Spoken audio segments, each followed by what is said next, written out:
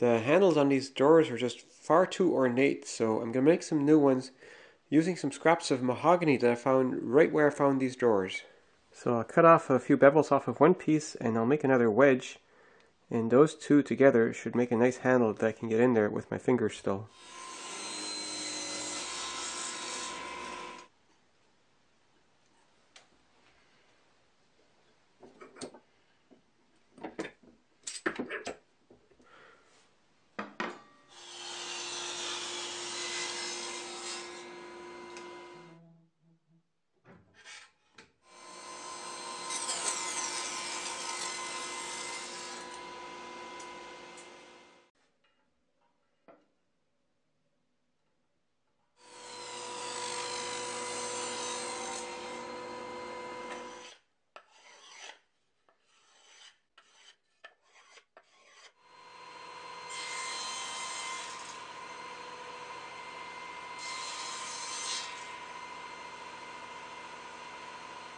Got my handles all cut out and the edges beveled and rounded and sanded.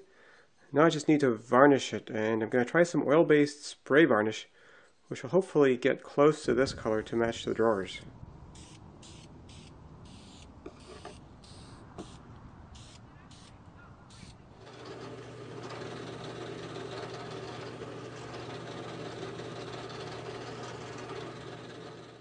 I made this drilling template out of a scrap of wood. Uh, these washers hook over the top edge.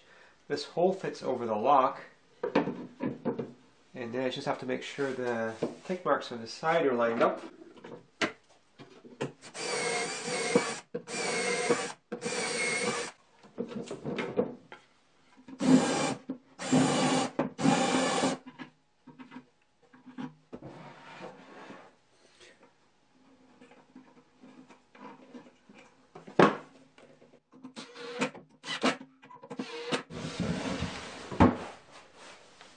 Well, I think those handles are a big improvement over the original ones.